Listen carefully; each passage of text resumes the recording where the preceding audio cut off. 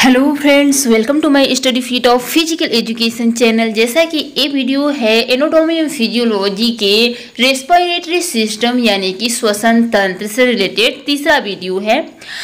इस प्रकार में एनोटॉमी फिजियोलॉजी के कई सारे पार्ट्स मस्क्यूलर सिस्टम सेल के बारे में बता चुकी हूँ एंड कंकाल तंत्र के बारे में बता चुकी हूँ। एंड ये है आपका श्वसन तंत्र, जो तीसरा पार्ट है। इसके बाद डाइजेस्टिव सिस्टम चलेगा। दोस्तों, जैसे कि ये बीपीएससी 2023 टीजीटी का एग्ज़ाम जल्द से जल्द होने वाला है। आपके पास टाइम नहीं है, उसी को देखते हुए मैं चैप्टर वाइज एक एक टॉपिक का रिवाइज करवा रही हूँ एमसीक्यू के माध्यम से एक्सप्लेन करते हुए। जैसा कि ये केवल बीपीएससी टीजीटी के लिए ही नहीं है, अदरवाइज़ सभी फ़िज़िकल एजुकेशन कंपटीशन एग्ज़ाम चाहे कोई भी स्टेट का हो, कोई भी एग्ज़ाम हो, सभी के लिए है, सभी लोग तैयारी कीजिए, सभी लोग डेली बेसिस से प्रैक्टिस कीजिए। तो दोस्तों, चलते हैं आज के क्वेश्चंस की तरफ़। क्वेश्चंस है कि फाइन ट्यून्ड में एक्सरसाइज के दौरान वायु संचार नियंत्रण निर्भर करता है। तो फाइन ट्यून्ड के में एक्सरसाइज के दौरान वायु संचार नियंत्रण निर्भर करता है। तो किस पर निर्भर करता है दोस्तों? Fine tuned ventilation control during exercise depends on तो ये निर्भर करता है higher brain centre and pacey neural feedback higher brain centre and pacey से न्यूरल फीडबैक पर निर्भर करता है। ए और सी यहाँ पे दोनों राइट हैं। एंड नेक्स्ट क्वेश्चन है, कि निम्न में से कौन सा एक प्रकार का सेलुलर श्वसन है जो ऑक्सीजन की उपस्थिति में होती है?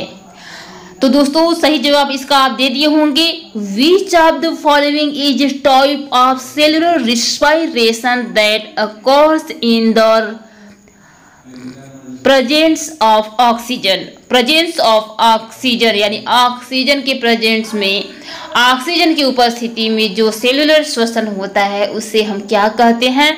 तो उसे हम कहते हैं दोस्तों वायवीय श्वसन, जिसे एरोबिक श्वसन रिस्पायरेशन एंड क्रेस चक्र साइट्रिक एसिड चक्र, इतने नामों से जाना जाता है। ये माइट्रोकांडिया में संपन्न होता है। इसी के द्वारा ऊर्जा बनती है एटीपी का निर्माण होता है। और ये सहनशीलता यानी इंड्योरेंस वाले क्रियाओं में ज़्यादा होता है। एंड नेक्स्ट क्वेश्चन है ऑक्सीजन के बिना सेलुलर ऊर्जा के उत्पादन की प्रक्रिया किस रूप में जाना जाता है? The process of producing cellular energy without oxygen is known as बिना विदाउट ऑक्सीजन कि कौन सी सेलुलर श्वसन होती है, ऊर्जा का उत्पादन होता है तो बिना ऑक्सीजन के ऊर्जा का उत्पादन वो होता है अवायवीय श्वसन, यानी कि अनएरोबिक रिस्पायरेशन के द्वारा। यानी कि यह कोशिका द्रव्य में संपन्न होता है, जिसको ग्लाइकोलाइसिस प्रक्रिया कहते हैं, जिसमें टू पायरुविक अम्ल का निर्माण होता है। वही टू एटीपी का जो निर्माण होता है, वही टू पायरुविक अम्ल जाता है। माइट्रोकांडिया में और माइट्रोकांडिया में जा के 36 एटीपी का निर्माण करता है और इस प्रकार सेलुलर श्वसन के द्वारा कुल अड़तीस एटीपी का निर्माण होता है, यानी कि दो एटीपी का निर्माण होता है। ग्लाइकोलाइसिस यानी कि अवायवीय शोषण अनएरोबिक रेस्पायरेशन में और 36 एटीपी का निर्माण होता है। वायवीय शोषण यानी क्रेब्स के द्वारा, यानी कि एरोबिक रेस्पायरेशन में कुल अड़तीस एटीपी ठीक है? वही एटीपी जो है माइट्रोकांड्रिया जो ऊर्जा बनाता है, वो एटीपी जहाँ जहाँ हमारे शरीर को ऊर्जा की आवश्यकता होती है, वहाँ वहाँ जाता है। एंड नेक्स्ट क्वेश्चन है। निम्न में निम्नलिखित गैसों में से कौन सी हवा में सबसे अधिक प्रतिशत में उपलब्ध है? Which of the following gases is available in highest percentage in air तो यहाँ पे सही जवाब है, आप सब आंसर दे दिए होंगे नाइट्रोजन कितना परसेंटेज है? अठहत्तर परसेंट ऑक्सीजन इक्कीस परसेंट एंड आपका carbon dioxide zero point zero three percent जबकि यही अमाउंट में जो वायुमंडल में उपस्थित है, उसी अमाउंट में हम सांस लेते हैं। इन सभी को अब सांस छोड़ते समय जैसे कि लेते समय ऑक्सीजन गया इक्कीस परसेंट और छोड़ते समय सोलह परसेंट बाहर निकलता है। नाइट्रोजन जो है अठहत्तर परसेंट जाता है, अठहत्तर परसेंट का पूरा का पूरा निकल जाता है, कोई यूज़ नहीं होता। Carbon dioxide zero point zero three percent जाता है, लेकिन बाहर निकलता है four point zero four percent and next question है कि कार्डियो पल्मोनरी रिससीटेशन जिसे सीपीआर कहते हैं, कौन सी रोगी के लिए कृत्रिम वायु संचालन और रक्त संचार स्थापित करने के लिए प्रयोग किया जाता है? तो cardio pulmonary resuscitation CPR is use to establish artificial ventilation and blood circulation for which patient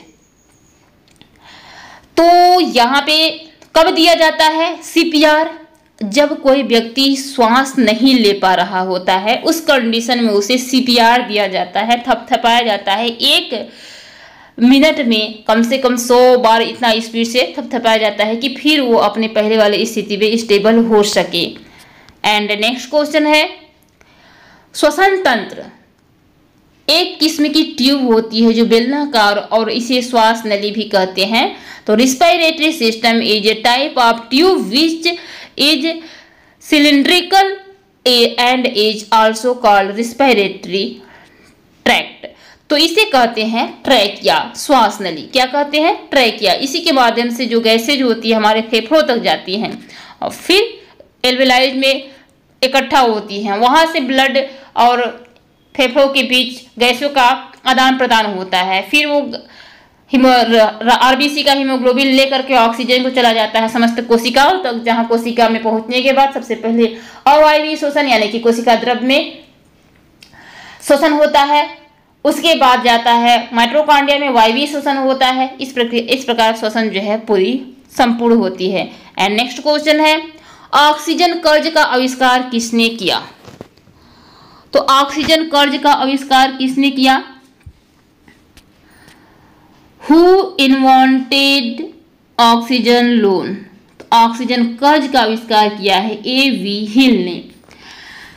जैसे कि दोस्तों, जब हम सामान्य विश्राम की अवस्था में है तो एक मिनट में जितना हम श्वसन ऑक्सीजन ग्रहण कर रहे हैं, फिर हम कोई एक्टिविटी करेंगे एक्सरसाइज करेंगे, उसके बाद रिकवरी पीरियड में जितना हम एक मिनट में ऑक्सीजन ग्रहण कर रहे हैं, उन दोनों के अंतर को ही कहते हैं ऑक्सीजन कर्ज यानी कि सामान्य विश्राम अवस्था में एक ही समय अवधि में व्यय की गई ऑक्सीजन तथा भरपाई के दौरान, यानी रिकवरी के दौरान, किए गए ऑक्सीजन के खर्च की मात्रा को ऑक्सीजन डेप्ट अथवा ऑक्सीजन कर्ज कहते हैं। जैसा कि आप समझ गए होंगे, ब्रिटिश फिजियोलॉजिस्ट आर्थीवाल्ड बेवियन हिल ने 1922 में पहली बार ऑक्सीजन कर्ज का आविष्कार किया। वर्तमान में ऑक्सीजन कर्ज को excess, post exercise, oxygen consumption के रूप में जाना जाता है एपीओसी के रूप में जाना जाता है।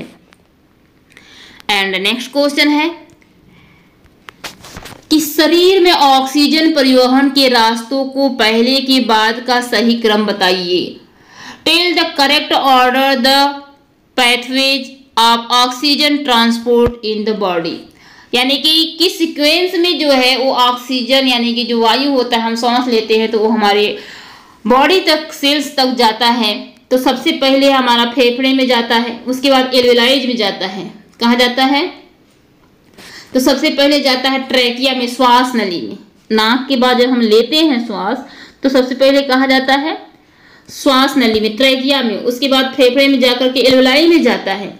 फिर एलवेलाई में जाने के बाद ब्लड ले लेता है, उसके ऑक्सीजन को यानी आरबीसी का हीमोग्लोबिन तो ब्लड में चला गया। उसके बाद वो लेकर के शुद्ध होकर के जाता है पलमोदरी सीधा के माध्यम से।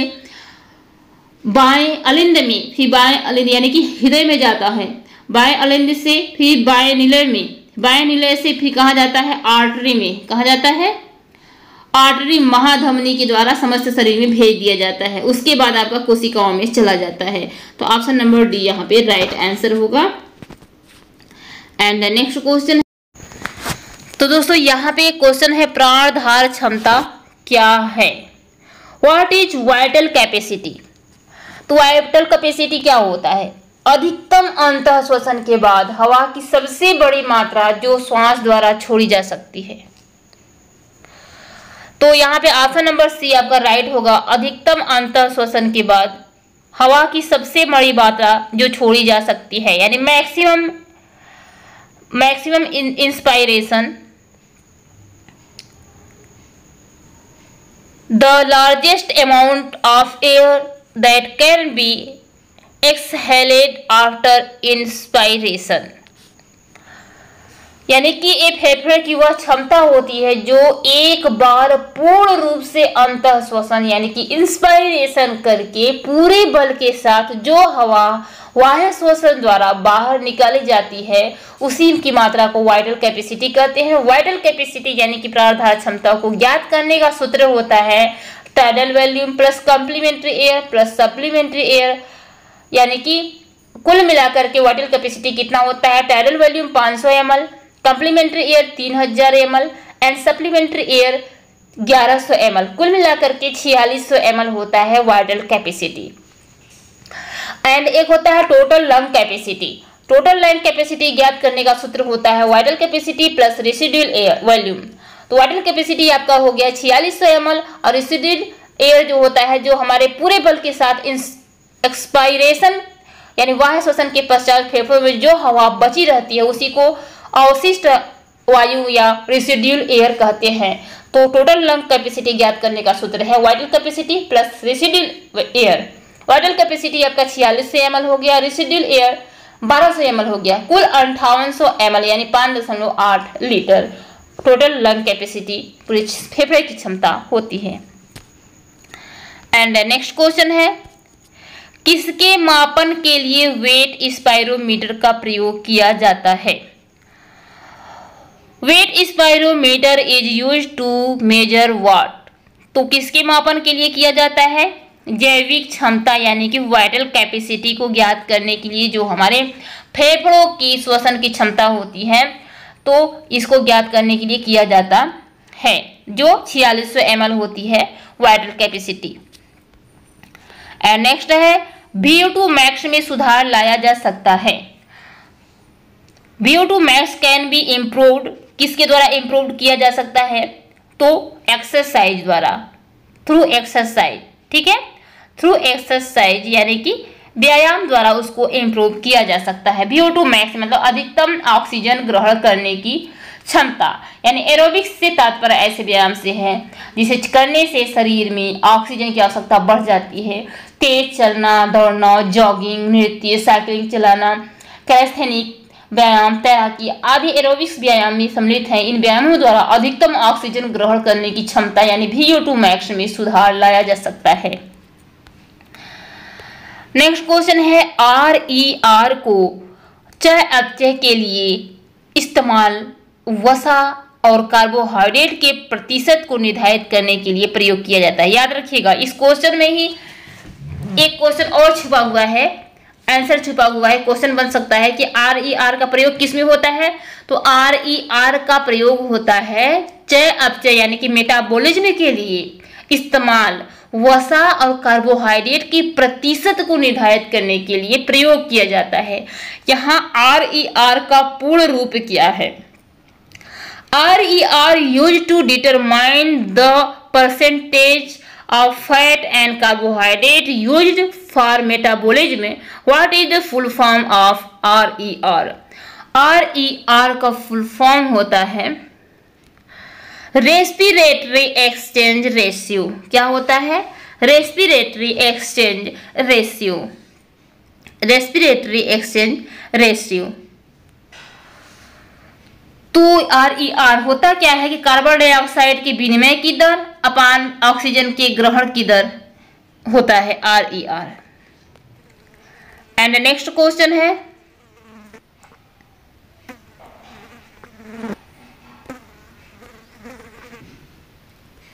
लैक्टिक अम्ल का, अम्ल किसका उप उत्पाद है?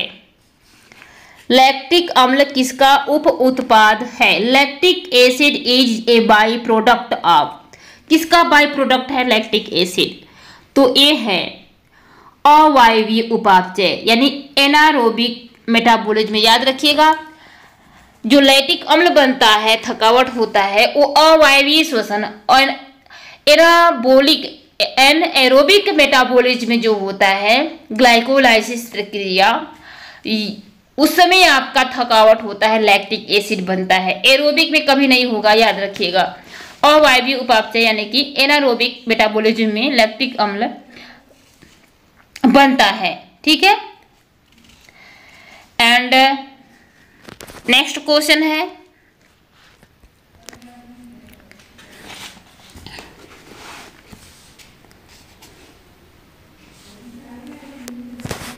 कि बहुत कठिन व्यायाम के दौरान थकावट होने का प्रमुख कारण है।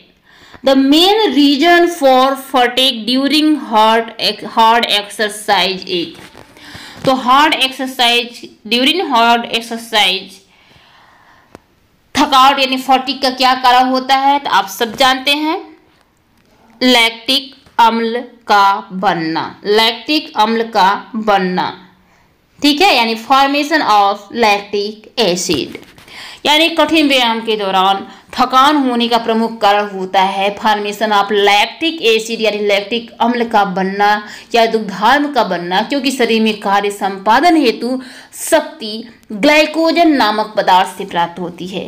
कार्य या व्यायाम की निरंतरता से ग्लाइकोजन का परिवर्तन लैक्टिक अम्ल के रूप में होने लगता है। जिससे मांसपेशियाँ सिकुड़ने लगती हैं। मांसपेशियों के सिकुड़ने से ऑक्सीजन की आपूर्ति प्रभावित होती है और खिलाड़ी को थकान का अनुभव होता है। एंड नेक्स्ट क्वेश्चन है कि ऑक्सीजन ऋण को कैसे परिभाषित किया गया है? How is oxygen debt defined तो दोस्तों, ऑक्सीजन ऋण जो है, क्या होता है कि वह अतिरिक्त ऑक्सीजन क्या होता है? वह अतिरिक्त ऑक्सीजन जिसे जोरदार व्यायाम के बाद सभी प्रणालियों को अपने सामान्य अवस्था में पुनर्जीवित, पुनर्स्थापित करने के लिए शरीर में लेना चाहिए। यानी कि the additional oxygen that must be taken into the body restore all systems to their normal stage after vigorous exercise जैसे कि आप समझ गए होंगे कि जब आप नॉर्मल स्थिति में श्वास लेते हैं ऑक्सीजन ग्रहण करते हैं, फिर एक्सरसाइज करते हैं या कोई क्रिया करते हैं तो क्रिया करते करते एक ऐसा स्टेज आता है कि आप थक जाते हैं, आपको क्रिया करने का अब मन नहीं करता तो आप रुक जाते हैं तो उस रिकवरी पीरियड में अब क्या करते हैं? जो ऑक्सीजन आपके शरीर में आपके कार्य करने के लिए जितना चाहिए होता है, उतना नहीं मिल रहा है तो उसकी रिकवरी पीरियड में क्या करते हैं? भरपाई करते हैं। तो उस अतिरिक्त ऑक्सीजन की पुनर्स्थापित करते हैं। वही जो मात्रा हम भरपाई करते हैं रिकवरी के दौरान, उसी मात्रा को कहते हैं ऑक्सीजन ऋण, यानी कि हम ऋण लेते हैं एक प्रकार का कार्य में विराम लेकर के, जो हमको ऑक्सीजन की कमी हुई है, उसका भरपाई करते हैं उस समय। यानी कि आराम के समय जितना हम ऑक्सीजन कर रहे थे उसके बाद एक्सरसाइज करेंगे, उसके बाद रिकवरी के दौरान जितना ऑक्सीजन ग्रहण करेंगे, उन दोनों के अंतर को हम कहेंगे ऑक्सीजन ऋण ठीक है? एंड नेक्स्ट क्वेश्चन है कि अधिक ऊंचाई पर जहाँ वायुमंडलीय दबाव आधा है, यानी कि at higher altitude altitude where atmospheric pressure is half तो वहाँ पे क्या होगा? वहाँ पे दोस्तों, फेफड़े संबंधी वेंटिलेशन बढ़ जाता है पलमोनरी वेंटिलेशन इंक्रीज हो जाता है। यानी कि ऑक्सीजन ग्रहण करने की जो क्षमता होती है, वह बढ़ जाती है, क्योंकि अधिक ऊंचाई पर क्या होता है? ऑक्सीजन कम पाया जाता है। क्या होता है? ऑक्सीजन कम पाया जाता है। एंड नेक्स्ट क्वेश्चन है निम्नलिखित में से किस तरह के कार्य के में प्रति घंटे सबसे ज़्यादा मात्रा में कैलोरी की खपत होगी? Which are the following type of work consumed the highest amount of calories per hour तो जो कैलोरी है पर आवर सबसे ज़्यादा मात्रा में खपत किसमें होगी? इन चार ऑप्शनों में तो दोस्तों रनिंग रनिंग में सबसे ज़्यादा कैलोरी बर्न होगी किसमें? रनिंग में, ठीक है? एंड नेक्स्ट क्वेश्चन है कि उत्तक ऑक्सीडेशन के दौरान रक्त में प्रवाहित होने वाली कार्बन डाइऑक्साइड होती है। तो उत्तक ऑक्सीडेशन के दौरान रक्त में प्रवाहित होने वाली कार्बन डाइऑक्साइड होती है।